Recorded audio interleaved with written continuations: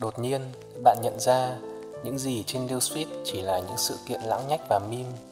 Nhưng meme chẳng có gì sai cả. Bạn chỉ không nhớ lần cuối mình được trò chuyện về những ý tưởng là khi nào và không biết mình chia sẻ chúng với ai. Spider Room đã có một nơi như vậy ở trên Facebook. Tôi đợi bạn tại group. Chúng tôi biết, chúng tôi không biết gì.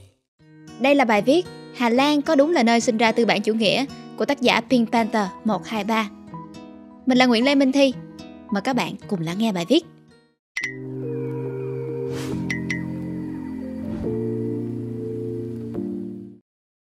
Biển Ấn Độ Dương bấy lâu nay đã là một nơi giao thoa kinh tế giữa người châu Âu và người châu Á trong hàng trăm năm, cho tới khi người Bồ Đào Nha muốn thống trị nó trong khoảng thế kỷ 15-16. Trong khoảng thời gian ngoài hai liệt cường châu Âu phồn thịnh nhờ việc giao thương là Bồ Đào Nha và Anh ra thì còn có thêm một liệt cường nữa, đó là Hà Lan. Vào thời điểm này, dân số Hà Lan chỉ có khoảng 1,5 triệu người. Quốc gia này vốn chỉ là một vùng đất trũng nhỏ bé ở châu Âu, nhưng việc họ đã thống trị giao thương thế giới suốt 50 năm đã dạy cho chúng ta rất nhiều điều về tư bản chủ nghĩa, về công nghệ và cả sự tàn bạo. Đôi chút về lịch sử Hà Lan Vào năm 1579, cuộc khởi nghĩa của các tỉnh vùng Hà Lan thuộc Tây Ban Nha đã thành công và khai sinh ra nước Hà Lan. Vào năm 1585, công tước công giáo tỉnh Parma do người tin lành chiếm được Antwerp và mở các gian hàng ở Amsterdam.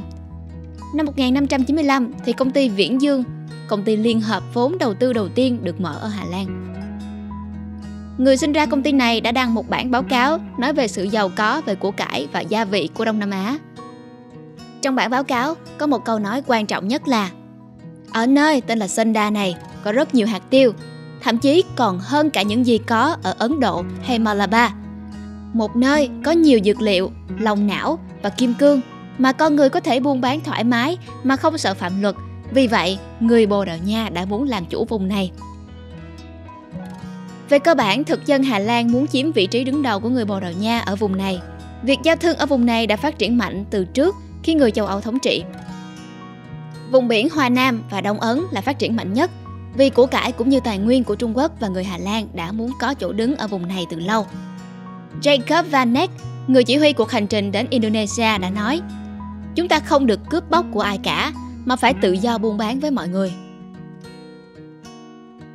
Vì sự tự do giao thương buôn bán nên đã sinh ra sự cạnh tranh về giá cả.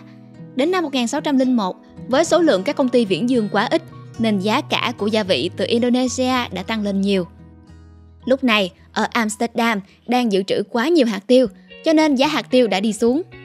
Điều hiển nhiên lúc này là phải giảm giá cả hàng hóa cho tất cả mọi người. Nhưng mà công ty Đông Ấn Hà Lan đã xuất hiện.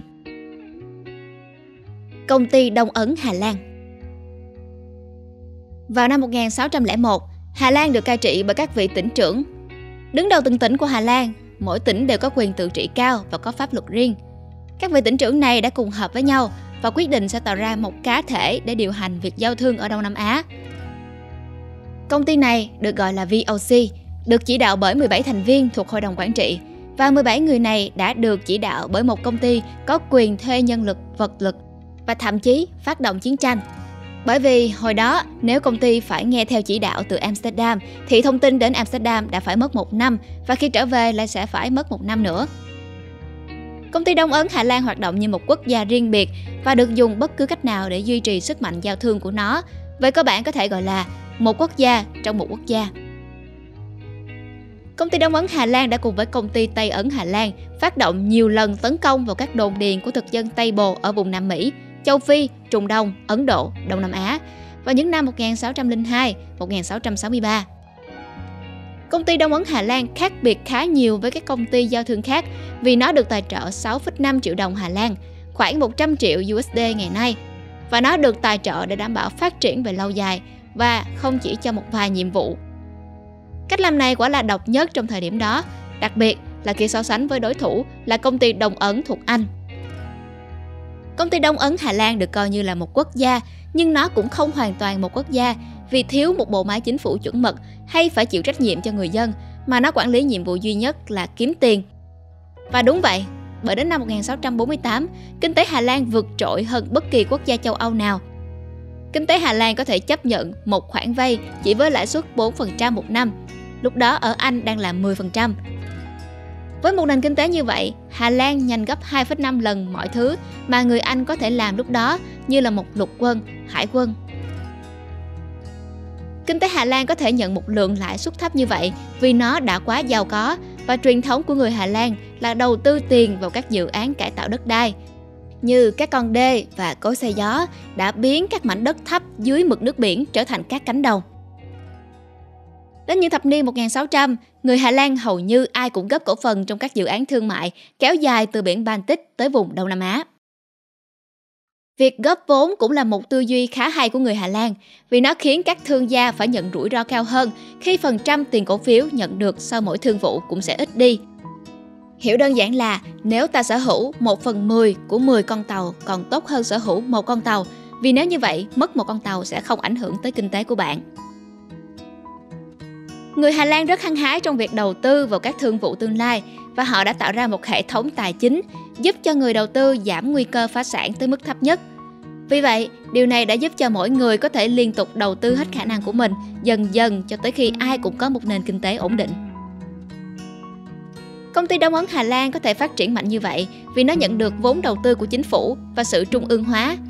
Các vị tỉnh trưởng đã điều hành công ty và mọi thứ phụ thuộc vào chính phủ đầu tư, tiền hay quân sự.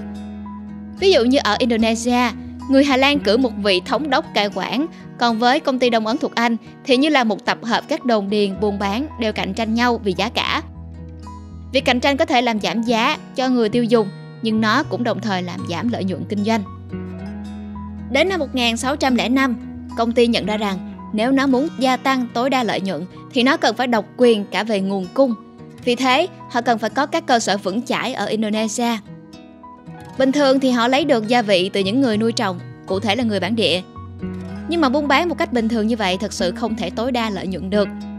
Người Hà Lan đã lập mưu tạo nên các hợp đồng buôn bán mà người bản địa sẽ vi phạm và khi họ vi phạm thì người Hà Lan đã có cớ xâm chiếm Đến năm 1612, người Hà Lan hoàn toàn làm chủ vùng Indonesia.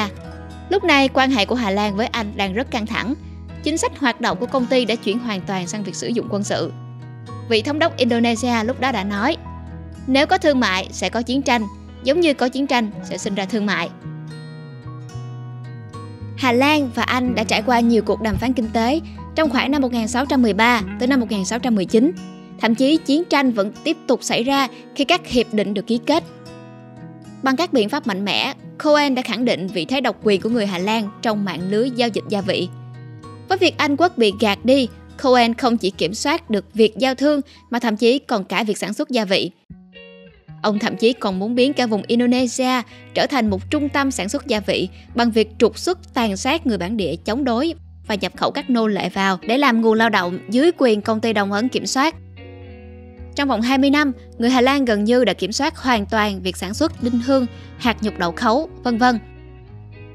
Đến năm 1658, với việc chiếm được Sri Lanka thì họ độc quyền thêm việc sản xuất quế. Sau năm 1638, Hà Lan cũng trở thành nước duy nhất được phép giao thương với Nhật Bản. Trụ sở chính của công ty ở Batavia trở thành cảng quan trọng nhất Đông Nam Á, nơi gia vị từ Indonesia, vàng bạc đồng từ Nhật Bản – trà sứ và lụa từ Trung Quốc đều được tập kết ở Batavia và chuyển tới Ấn Độ, nơi để giao dịch lấy bông, thứ có thể dùng để mua được nhiều hàng hóa châu Á khác. Thế kỷ thứ 17 thực sự là kỷ nguyên vàng của người Hà Lan và tất cả đều nhờ tới công ty Đông Ấn Hà Lan. Sau này, hương vị của người châu Âu cũng thay đổi và họ bắt đầu thích đến đường. Việc sản xuất len của người Hà Lan cũng bị thay thế bởi việc sản xuất bông. Anh Quốc đã giành được lợi thế hơn khi nắm vững việc sản xuất những thứ này, cùng với việc học theo một mạng lưới giao thông giống người Hà Lan, khiến cho người Hà Lan đã mất dần chỗ đứng cuối cùng và VOC đã phá sản năm 1799. Nguồn gốc của chủ nghĩa tư bản là từ VOC. Về cơ bản, công ty Đông Ấn Hà Lan là người tiên phong trong việc hăng say tìm kiếm lợi nhuận. Điều đó đã biến Hà Lan trở thành nơi giàu có nhất trong thế kỷ thứ 17 nhưng ta cũng không thể hoàn toàn coi đó là nơi sinh ra tư bản chủ nghĩa bởi vì công ty đã không thể thành công nếu không được nhận trợ giúp từ trung ương, đặc biệt là trong việc tự do buôn bán. lục quân và hải quân của công ty chủ yếu được sử dụng trong việc đánh nhau và điều đó hoàn toàn không giống với tự do thương mại. Cuối cùng, công ty Đông Ấn Hà Lan đã biến mất, thay vào đó là việc xây dựng các thuộc địa của Hà Lan. Chính công ty Đông Ấn Hà Lan là một ví dụ chuẩn xác nhất trong quá khứ khi mà một tập đoàn mạnh hơn hẳn một quốc gia. Một chính quyền tốt thực hiện đầy đủ trách nhiệm với người dân họ quản lý, thậm chí cả chính quyền xấu cũng cố để thực hiện điều đó và cả chính quyền dù tốt hay xấu cũng đều phải sợ hãi chính người dân của mình. Nhưng cả hai điều đó đều không xuất hiện ở Indonesia khi mà công ty còn kiểm soát. Hy vọng là các bạn thích bài viết lần này. Đừng quên like, share và subscribe ủng hộ chúng mình. Và nếu như các bạn thích những nội dung như trên, hãy đăng nhập vào spyroom.com để tìm đọc thêm nha. Xin chào và hẹn gặp lại. Mình là Nguyễn Lê Minh Thi.